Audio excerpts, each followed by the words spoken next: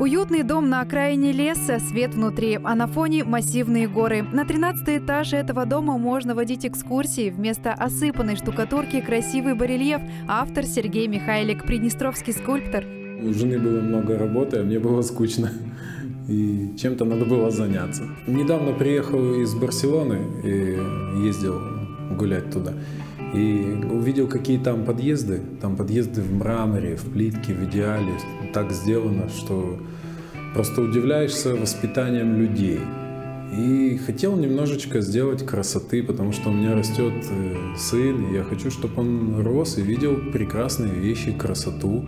Энергия в каждом штрихе, стиль, реализм – именно это привлекает в работах скульптора.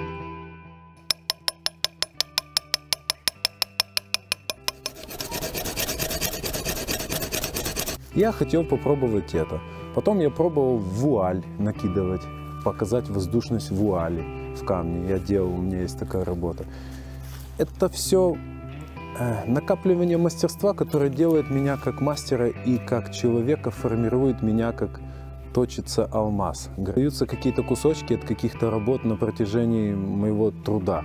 И я решил составить из этих кусочков, чтобы они не пропадали, э, сделать э, из трех частей, потому что цельный камень как бы дорогой. И здесь одна часть э, состоит из подставки, потом другая часть лицо и грудь, и третья часть это шляпка.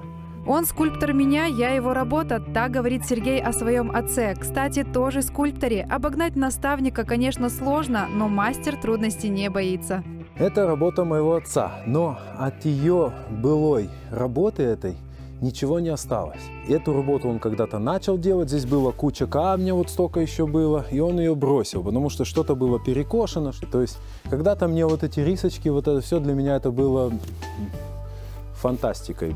Сейчас для меня это не проблема, где-то что-то убираю, где-то что-то делаю. То есть волос должен быть волосом, лицо должно быть лицом, кожа должна быть кожей хоть это и в камне, но есть законы, чтобы показать, чтобы брови были бровями. И внутри, и снаружи дом мастера похож на музей. Десятки скульптур со своей историей. Есть даже привидения, но пугаться не стоит.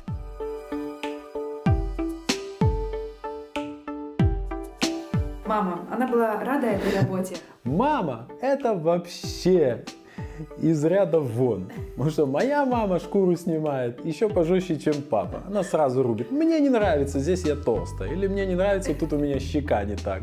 Или я вообще э, не тот цвет волос, я там, я хочу перекраситься, а потом, или нарисуй меня молодую, то есть, как я говорю, подожди, ты же для меня мама, я же хочу передать свои чувства как к маме в этом портрете, и такую, какая ты есть сейчас. Ей понравилось, она говорит, этот портрет я заберу, а многие другие не хотела забирать.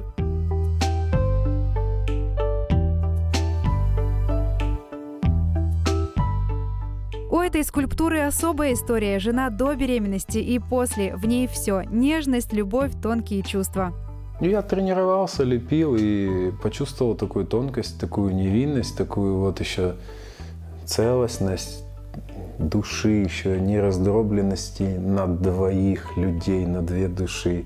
Впереди у автора несколько новых проектов и подготовка к выставке. А пока гуляем по подъездной галерее и делаем фото на память.